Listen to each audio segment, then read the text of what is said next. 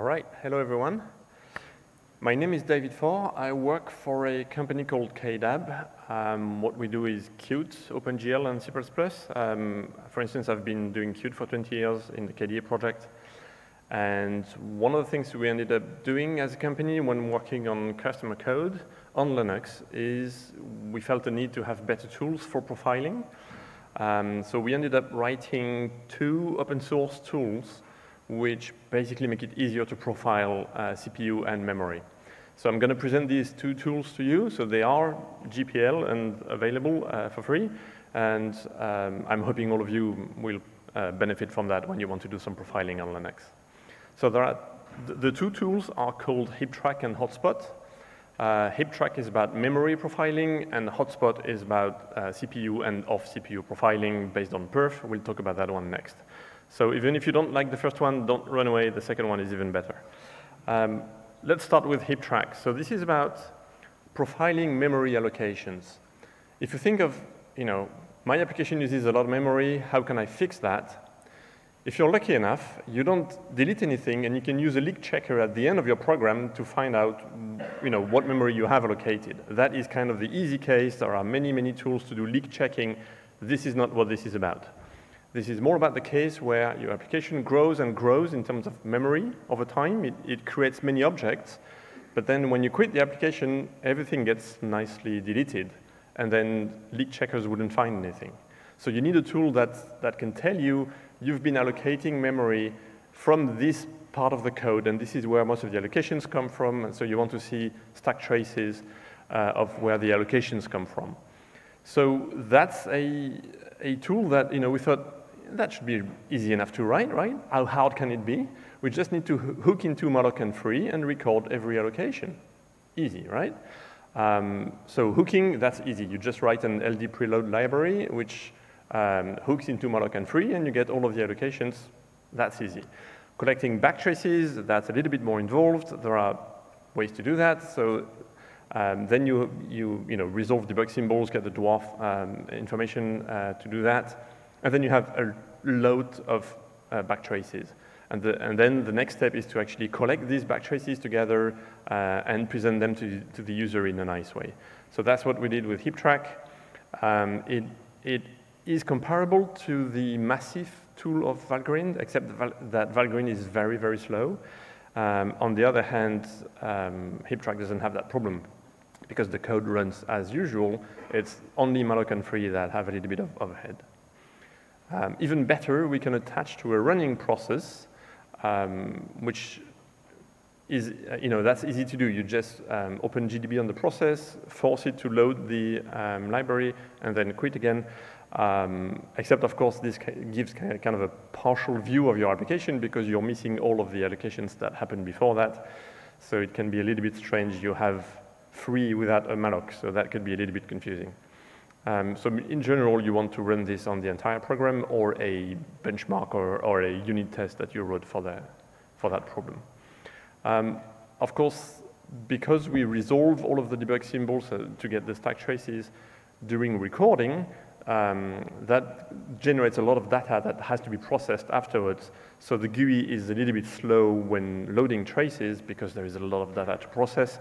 We have ideas of how to improve that in the future, but you know, for now, that's one of the small problems with it. So it's better if you do that on a small application or a um, kind of a test case or a benchmark rather than a very, very large application. Or at least if you do it on a very large application, do it for a short amount of time, not for one hour. That's just impossible.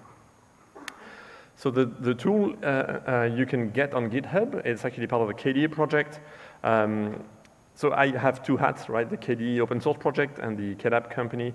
So the code is on the KDE project, whereas what we did as KDAB is to provide continuous integration for it uh, and generating an app image so that you can install it without having to compile it at all.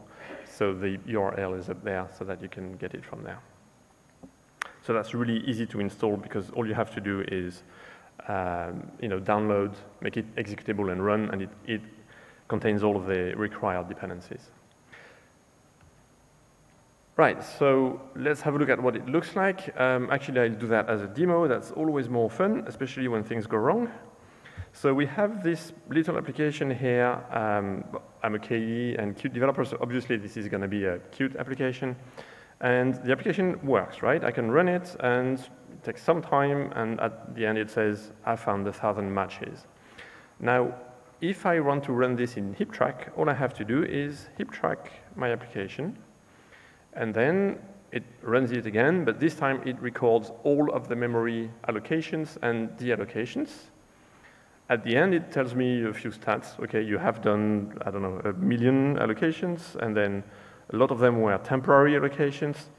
What we mean by temporary allocation is if you look at all of these events, all of the malloc and all of the free, if we spot a malloc and a free on the same area of memory next to each other, so there was no other malloc and free in between, this is a temporary allocation. It's an object or a, you know, some bit of memory that was allocated, used, and destroyed right away. Sometimes you have to, but sometimes you can maybe avoid that.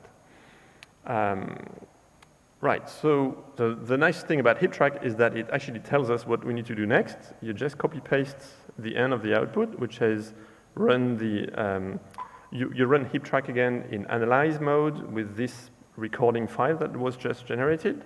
And if I do that, I get this GUI application, which is too big for this monitor. There we are. I don't know if you can see the bottom like this. Right. So the first tab is kind of a summary where we can see where the largest memory leaks came from, most of the memory allocations came from, and so on. This is not the most useful view. What you want to do in these kind of tools is to switch to the flame graph. We all love flame graphs. They are a very easy way to see where the biggest offenders are. Um, so basically, in this view here, the wider a rectangle is, the most um, memory was allocated from that uh, piece of code. If I want to look at, so I'll come back to this, but overall, if I look at the amount of memory that was consumed by this application over time, well, okay, the graph here is not very interesting because it's uh, very linear, but yeah, the allocations went up and up and up, right? And what we do in the flame graph is to take the peak of that graph. So basically, at the point where we used most memory, where did it come from? So that's what the flame graph shows, uh, because right now I'm looking at memory peak.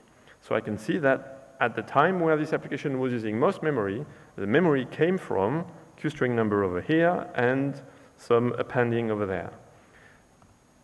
And we, I'll show you the code so that we can relate that to the code. The other thing I'm interested in is, if you go back here and, and the summary as well, it said there is really a large number of temporary allocations. So I want to see where they come from. I can go here and switch the, the thing I'm looking at to be temporary allocations.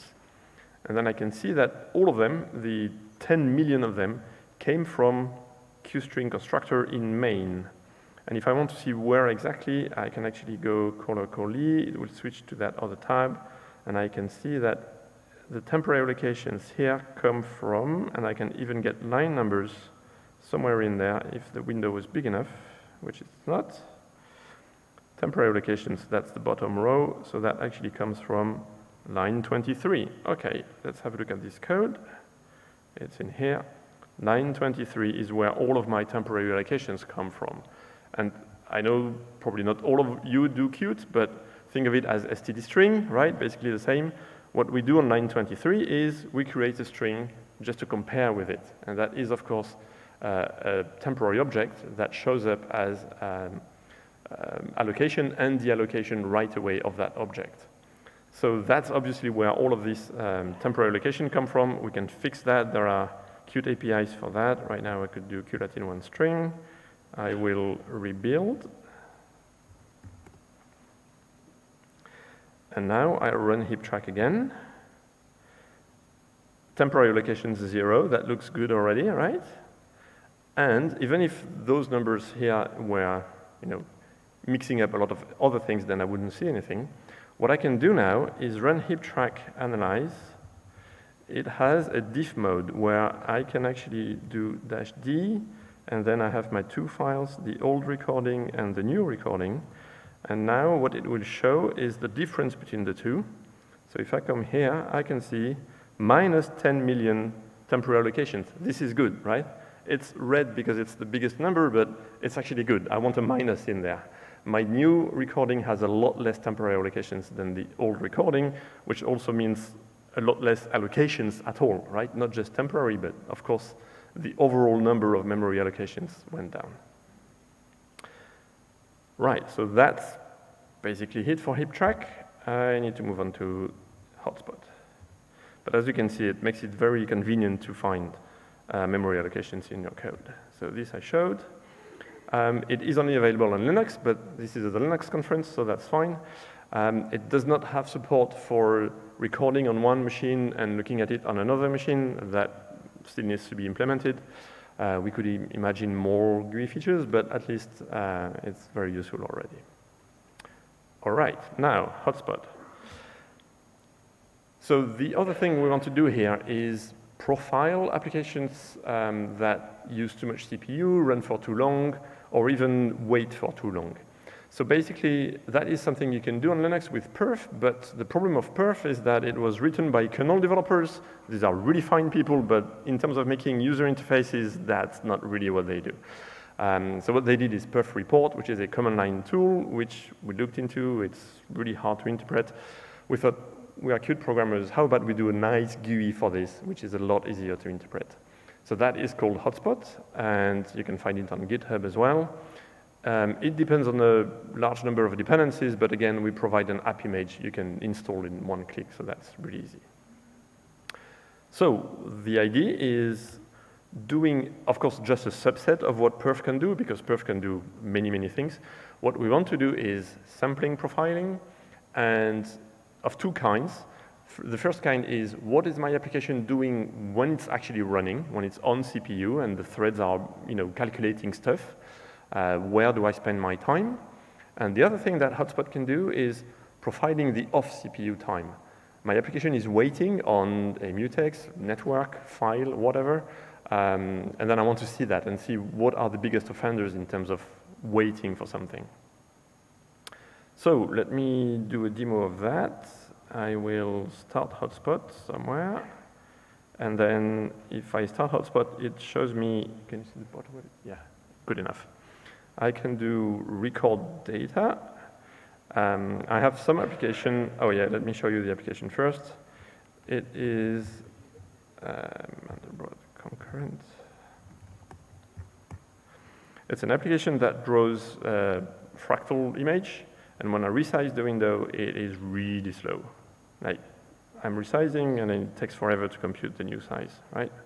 So that's the bug report. How do we figure out why is my application slow? The first thing you need to do is a benchmark uh, so that you can reproduce the results. So we did, we did that in that application with dash B1. So that's the application itself provides a benchmark mode where it doesn't do any user interaction. It will simply do one calculation and exit. And that is a benchmark we can use then.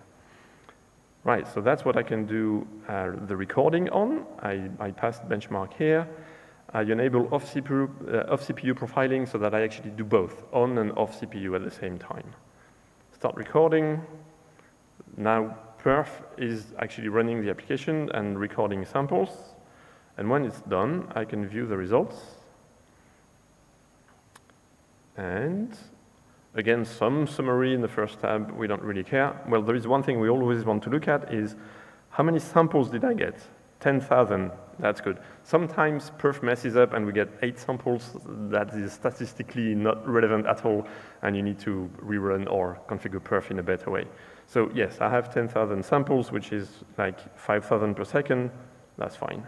Now I can go to the flame graph and if I'm looking for cycles, so actual CPU cycles, then I can see where is my application taking time. And I can see, okay, it is taking quite some time in fast norm. I can look at you know, what that thing is doing and whether I can make it faster. It's also spending some time in square and also some time in that first pass uh, method itself, right? There is no calls being made here because that is the code of that file itself. Okay. Um, now, the thing about that program is that it's supposed to be multi-threaded um, and do all of that in separate threads. Um, so let's have a look at how well it managed to actually run in many threads. So I can use that view at the bottom, which shows me, So the first, the, the, the, stuff at the top is the CPUs. So I can see the CPUs have been doing stuff, right? I have multiple CPUs running, though it's not orange everywhere. So um, there is sometimes some CPU don't do anything, like CPU one over here. More interesting, I can scroll down and see my threads. So I have the main thread, I have two from Qt, and then I have a whole bunch of threads in my thread pool. And what do I see? Ooh, far too many threads, and they keep waiting right? They run only, uh, for most of them, they run a little bit and then nothing, and then they, they wait for a long time. And if I want to see what they're waiting, waiting for, I can go back to the flame graph and say, show me the off CPU time, which is really the time where a thread is waiting. Sometimes a thread is waiting for a good reason, right? It waits for work to do. In this application, they were supposed to go ahead and crunch numbers. So if I look at what they've been waiting for, ooh, there is this mutex lock in here that takes 80% of the waiting time. Now I can go into the code, look at what that mutex is actually locking, and figure out, okay, it's a far too big scope, and actually in this example it can be reduced and so on. There are a number of things we can do to this code. I don't have the time to show that. Um, to make this application run much better, um, reduce the number of threads, of course. I have eight cores. There should be eight threads, not 20 or I don't know how many and uh, do the locking in the, in the right way. But that's, that's the whole idea of this, is to be able to see um, where is my application doing some work and spending time doing it, and where is my application just waiting um, for things, and, and what is it waiting for. So mostly on the mutex, here it's uh, waiting on a wait condition. That's probably just waiting for work to do. That is probably fine, but you know you can look into that. Um, in hotspot, obviously, because this is sampling, right? Perf um, regularly, like you know, 5,000 times per second, and collects backtraces. Um, so the whole idea is that if you do that often enough, the, the data you're looking at is what's relevant. It's not a problem that maybe I missed a little bit of code somewhere, it will not show in any backtrace. If it's that small, then it doesn't matter. What matters is what actually takes time. So statistically, I want to see what's uh, over there. But because it's sampling, there is no way to do diffing in this case, because two runs of the same code would still be a little bit different. So we can't do a diff because we would get noise in there.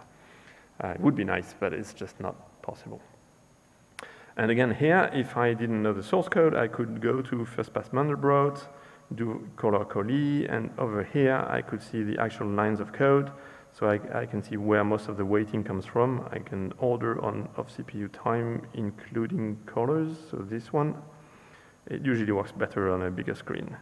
So now I sorted here, and I, I would go to um, this line here, one, two, four, and if I open that, uh, somehow, it's supposed to run. It must have done that here. Okay, the law of demos. Normally you can jump to the line here. Something's broken. Oh well. Um, then you can see the line of code, and that's where the locking happens, obviously. Right, so that's what I had on Hotspot. So basically, what I would like you to do is download, compile, or use the app image for HeapTrack and Hotspot. If all of this was way above your head, you can buy a training from us. So the tool is free, but of course you, we have to eat. So what we do is sell trainings and consulting. And yeah, if you, if you have any questions that don't fit here, this is my email, and you can uh, email me. But yeah, for now, any questions?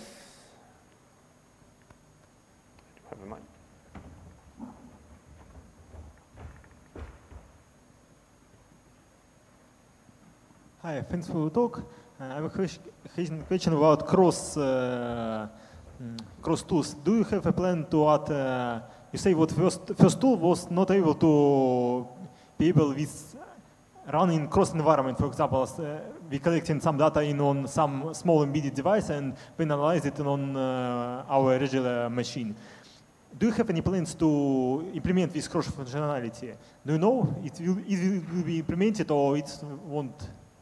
Actually, um, you make me realize that what I said was a bit of a simplification. If you have an embedded device, you can use HeapTrack on it as long as you have the debug symbols on the device, which I know is a problem in some cases, but there are cases where you can do that, right? If you have a large enough embedded device, you can copy the debug symbols onto the device, and then HeapTrack will work. What doesn't work is to try and do like in, you can do with perf, where you run it on the embedded device without debug symbols, you get a trace that is basically just um, instruction uh, addresses, but not resolved to actual function names. So that trace, you, you then move away uh, to a developer machine, and there you can resolve with the debug symbols and get stack traces. That is something that perf supports out of the box. So obviously for hotspot, it works, right? Um, but it's not something that's done by HeapTrack. But if you have room enough to have the debug symbols, then you're fine. You can then move the, the, the actual recording onto the developer machine and use the GUI to look at it. Okay, thanks. Any other questions? You get to run over there. okay. Uh, I think it's better for the recording if we have it on the mic.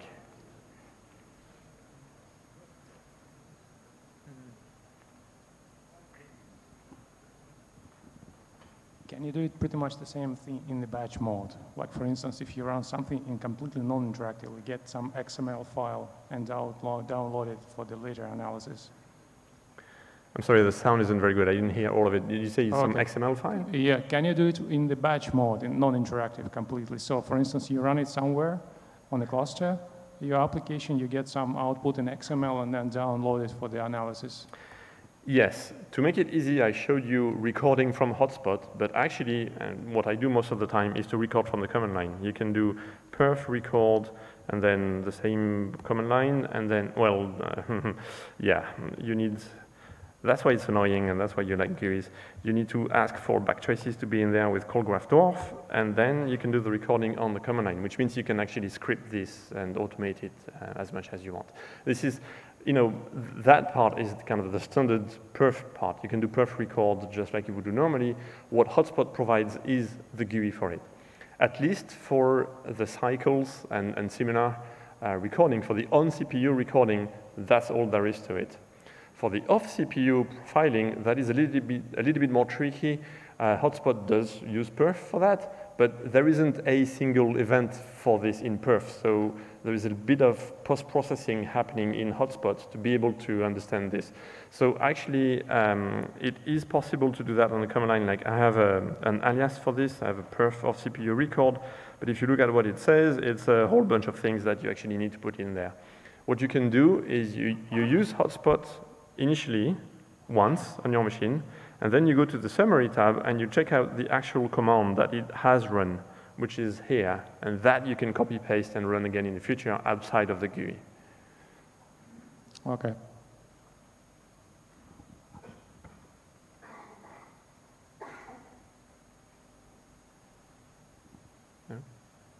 Okay. Uh, yeah, at the back over there. Can you bring the mic there? Sure. Thanks.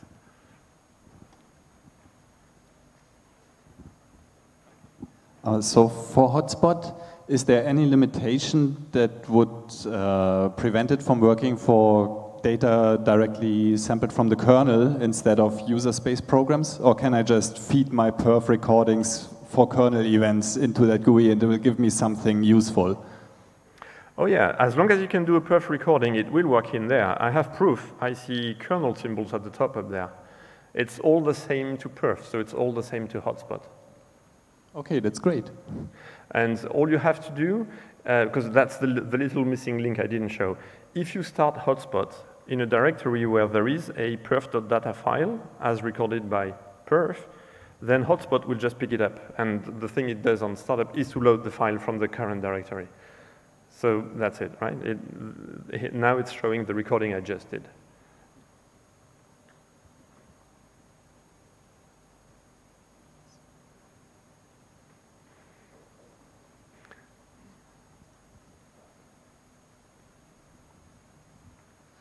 Does this work for all architectures? Intel, ARM, PowerPC, MIPS? Um, if perf works, hotspot works, right? Because it's just a GUI. So as far as I know, perf does work on all of the uh, architectures. It is part of the Linux kernel, so it is as possible as the Linux kernel. Okay, thanks. And for those of you who want a bit more advanced uh, usage, when you, when you record with perf, you can actually choose which events you're interested in. I've been showing only cycles, but it could be anything else, and it will actually show up here in the, in the Dropbox here. If I do um, perf record with my own alias, that one enables a few more things. So let me do that. Um, I have enabled more uh, like instructions and memory load um, uh, or cache misses and these kind of things. So it's loading all of that. We need to profile this thing. Right, and now I, I, can see instructions and cache misses and stalls because this is what I've recorded. So Hotspot will pick up whatever you have chosen to record in the, uh, in the perf.data file.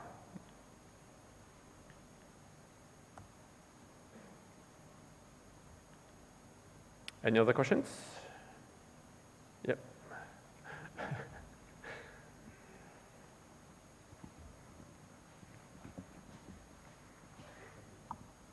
Um, with a HeapTrack tool, uh, what happens if the uh, application is quit or killed before the report is written? Do you mean for perf or HeapTrack? HeapTracker. With HeapTrack. Um, yeah, the writing will happen at the end. Um, I'm wondering if we have, you know, all we need is signal handler to kind of catch the termination of the application. Um, I'm not sure if we have that. Let's try think you, you said it, it attaches to the program? Uh, it can attach to the program. It has both modes, just like GDB. Like yeah. what I'm doing here is to just start the application in HeapTrack, which basically sets LD preload to point the, to a .so file. That's the, kind of the easy setup if you can do LD preload. It also has support for attaching to a, a running app with dash P and the PID, uh, but it's kind of two different modes, right? Yeah. Um, uh, so I think if you can attach, you can detach as well, but ah, this one runs too fast now. I can't quit it before. okay, let's do something much bigger.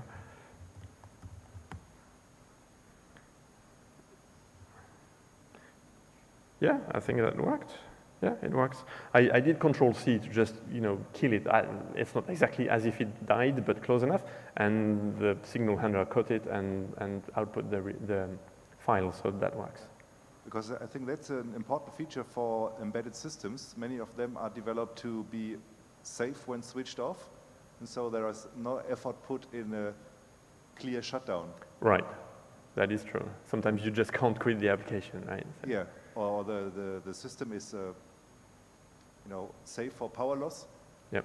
And you don't spend uh, any effort on, on a real clean shutdown, and that's the point where many of the memory heap trackers uh, fail because that is no true. That is true. That's another ad advantage of doing it this way.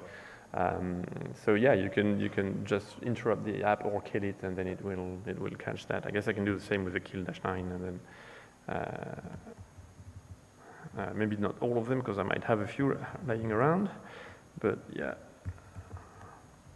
let's kill it, and then yeah, there you go.